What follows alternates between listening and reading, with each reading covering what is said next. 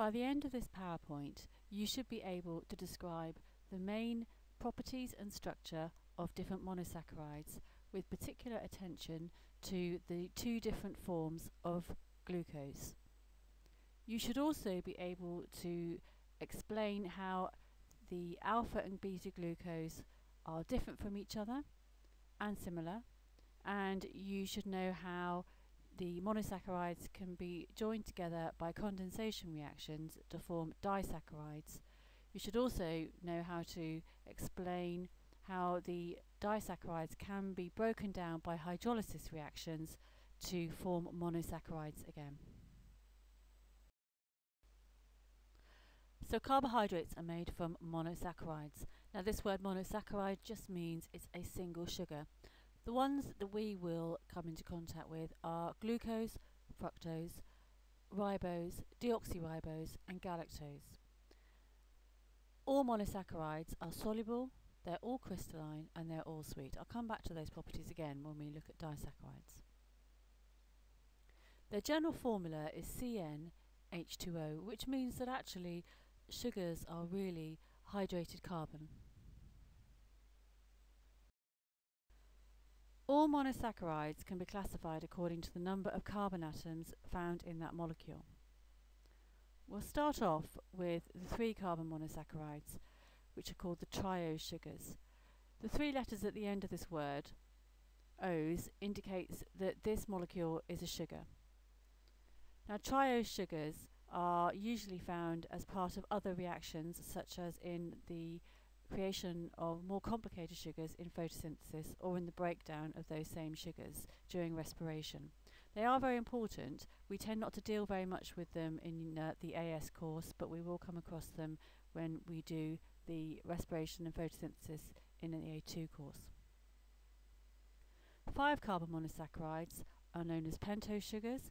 These ones we will deal with because uh, ribose and deoxyribose play a very important part in the formation of DNA and um, other nucleic acids as part of protein synthesis.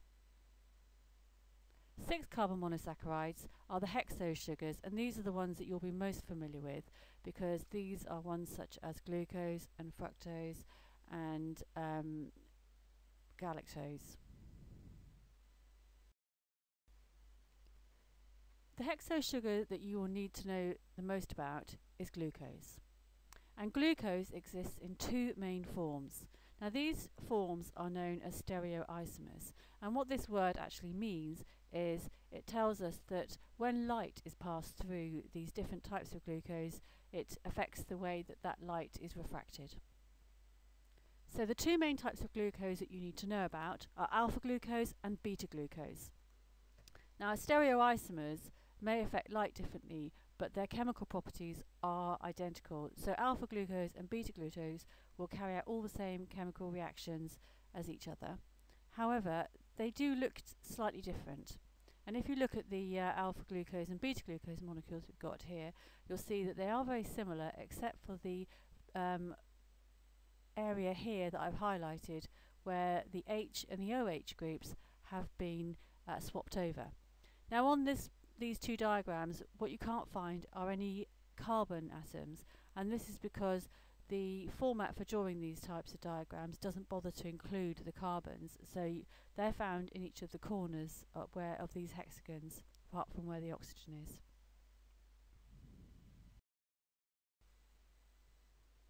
So if we have a look at this diagram and just make sure that we have a good understanding of how it all works. Here's an alpha glucose molecule. Now as I mentioned to you before, the carbons are not shown on this diagram, but they are found in the corners.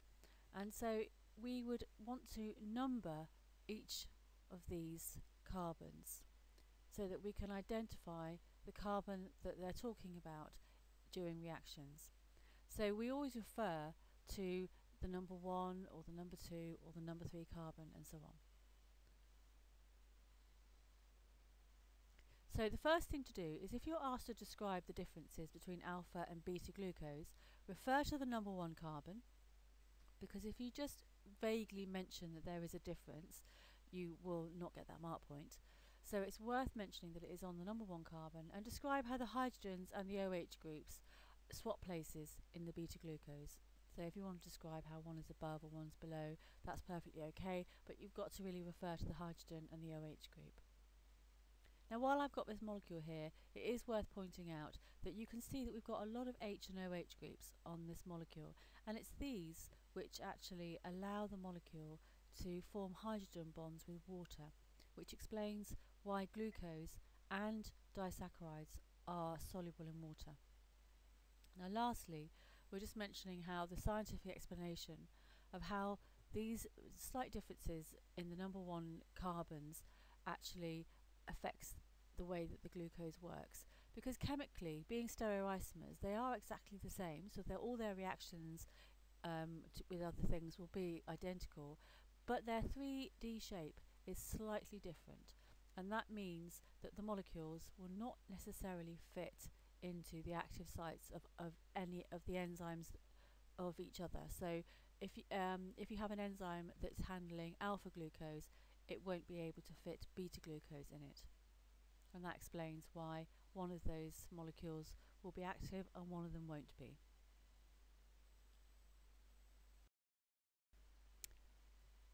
Monosaccharides are important in playing a part in a number of different functions. The first one that most people think of when they think of uh, glucose is its importance in providing energy through the process of aerobic or anaerobic respiration.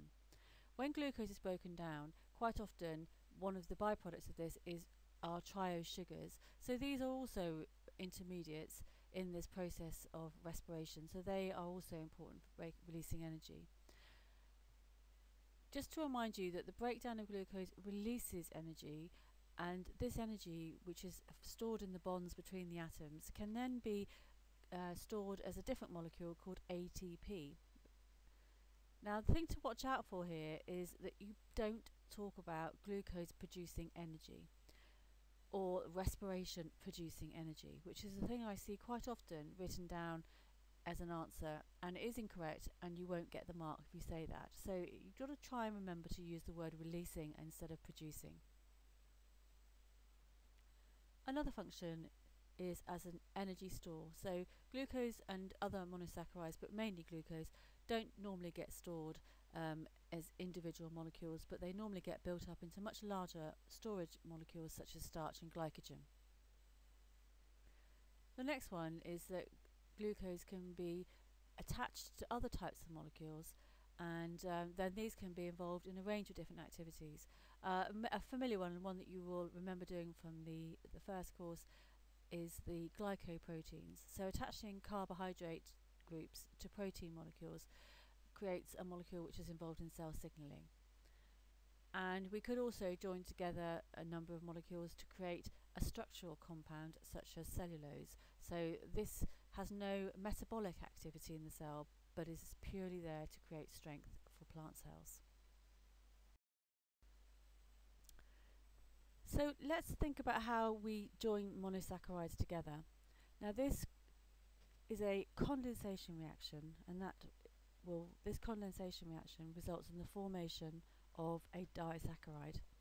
So here we've got a glucose molecule and another glucose molecule and you can see highlighted on this diagram we've got an OH group and an H group of the number one carbon in the first molecule reacting with the number four carbon of the second molecule and they will react with each other to release a water molecule and you can see on the second diagram here we've got the formation of this glycosidic bond between these two adjacent molecules.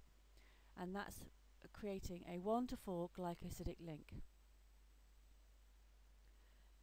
Enzymes will be involved in this condensation reaction and their shape of the active, uh, their active site will be complementary to the 3D shape of the alpha glucose molecules.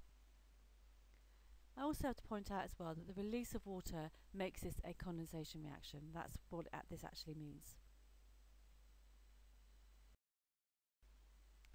If we want to split our disaccharides, the hydrolysis reaction will break the sugars apart. And so here we have a disaccharide here, and this disaccharide will be something like, like maltose, and with the use of, a, of an enzyme again, then this bond that's formed between these two monosaccharides will be broken down and it will require water to be put in in order to make this reaction occur. So we call this a hydrolysis reaction because it, the word hydrolysis means water is splitting. So if we just compare these two reactions, monosaccharides are converted into disaccharides by condensation. Disaccharides are broken back down into monosaccharides by hydrolysis. The properties of disaccharides are very similar to the monosaccharides. So they're soluble, sweet and crystalline. So like the disaccharides, due to the large number of H and OH groups, this enables them to form hydrogen bonds with water which allows them to dissolve. It also means then that both monosaccharides and disaccharides are going to have an osmotic effect upon the cell. So high numbers of monosaccharides and disaccharides will lower the water potential of the cell.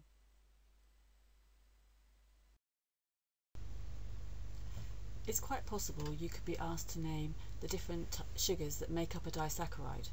So if we start with our alpha glucose bonding with another alpha glucose, this will create a molecule of maltose and one of the byproducts of that reaction is water. So here we have a diagram that shows two glucose molecules bonding together and you can see here that we've got a 1 to 4 bond that's created between these two alpha glucose molecules. Maltose is often the product of the breakdown of starch or amylose or amyl amylopectin, so we quite often see it appear at that point. The next sugar disaccharide is where you have alpha glucose reacting with fructose. Now both of these sugars are made by plants during photosynthesis. So at the end of photosynthesis, glucose is the, one of the main sugars that's created, and so is fructose and those two sugars are then reacted with each other to form sucrose.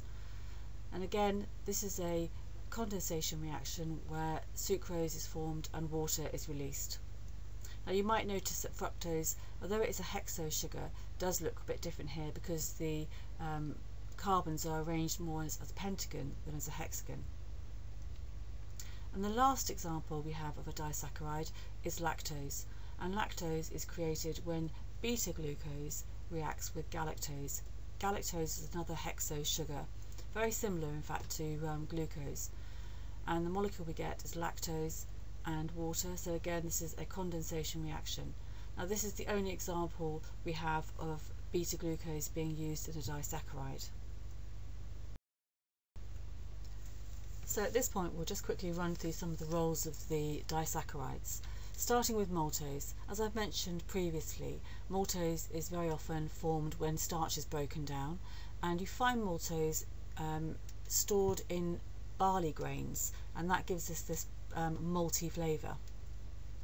Sucrose is the transport sugars in the phloem and so as I mentioned in the previous slide we have uh, the um, glucose converted into fructose. It's then reacted with some more glucose to create sucrose. And this creates a very soluble sugar which can be transported around inside the phloem. Lactose is the sugar which is found in milk and it's the main energy source for babies. And it's one of those sugars which um, a lot of people find that they are able to digest very well when they're a baby but become intolerant to lactose as they become an adult and in fact I would say that that is probably the most normal situation because it's um, most organisms lose their ability to digest lactose as they become an adult.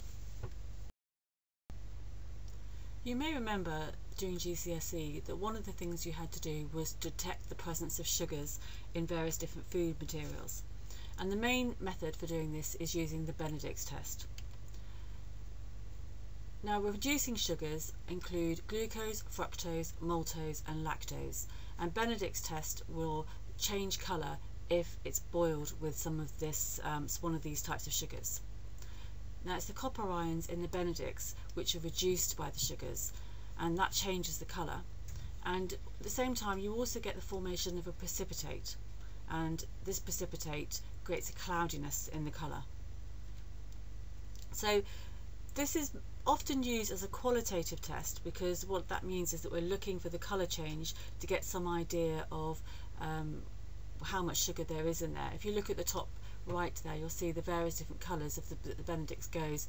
Blue is it's what it starts as and then it goes a greenish colour if it's got a little bit of glucose or um, reducing sugar and then the colour gets more intense until you get to this brick red colour which tells you there's lots of it there. But of course what it doesn't tell you is exactly how much of the um, sugar is in the solution. It just, the, the colour gives you an indication but it doesn't give you an actual value. So you can turn this um, method into a quantitative method by using a colorimeter. And this is something we will try to do in a, a practical or, or certainly something similar. So what you do is you use your colour stand, your, your um, sugar standards and you carry out a Benedict's test on them and then from this you are able to produce a graph which is a calibration graph and we'll explain more about this later. The other way of detecting sugar can be using things like glucose testing strips. And these are semi-quantitative. They don't give you an actual number, but um, the intensity of the colour is an, is um, an indication of the quantity of the sugar in there. And if you read on the side of the pot, it kind of gives you an indication as to how much sugar you've got. Now, of course, not every sugar is a reducing sugar, and sucrose will always give you a negative result with Benedict's. So you can still use this test to see if sucrose is present. So if you test a, um, a solution and it gives you a negative result, then the first thing you can do then, obviously you have to do the Benedict's test first, but after that what you would do is you would then do the non-reducing sugar test. So in order to do this, what you do is you take your sample and you boil it with some acid, so just some hydrochloric acid is usually what's used. And this will break any disaccharides down. So if there's sucrose in there, it will split the sucrose down into glucose and fructose. You then neutralise the acid with some sodium bicarbonate and then you do the Benedict's test again. And then if you get a positive result the second time, you know that there is a non-reducing sugar in there. Finally, you should be able to answer questions on this topic and the sorts of things that you could be asked to do might be to draw a simple glucose molecule. You should be able to draw or explain how a glycosidic bond forms. You could be asked a range of different experimental questions on the Benedict's test and these often appear and um, they expect you to be able to use a colorimeter in a quantitative fashion. So we will be practicing those questions. And this topic is very often linked with many other topics which um, require an understanding of biological molecules, such as enzymes, or the movement of molecules across membranes, or even something like photosynthesis and respiration, which you'll do in year 13.